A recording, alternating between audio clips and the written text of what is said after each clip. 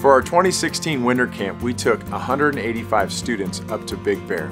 Our theme was Awaken, which comes from Romans 13:11. We wanted to challenge students to live spiritually awake lives every day of their lives, not just on a Sunday or a Wednesday.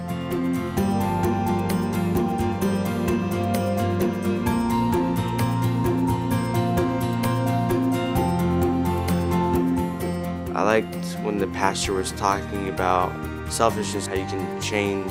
It kind of hit me because I'm really a selfish person. Felt like he was speaking to me. That was God's way of telling me not to be selfish anymore and I need to be helping others.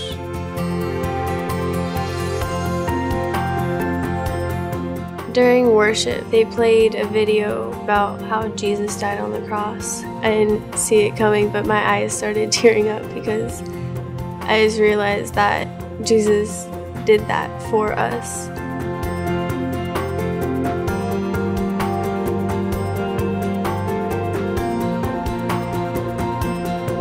One thing I learned is that you really need to be bold in your faith and you don't need to be scared to step out there and to tell people about Christ.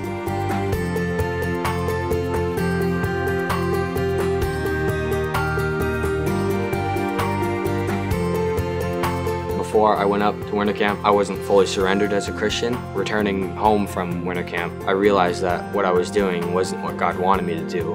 I'm progressing and becoming a better Christian and fully surrendering to God.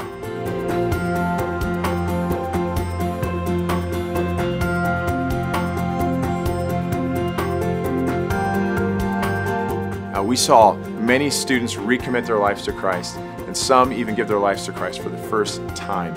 Lots of relationships built between peers and volunteers, and we're so excited to see what God is going to do this next year.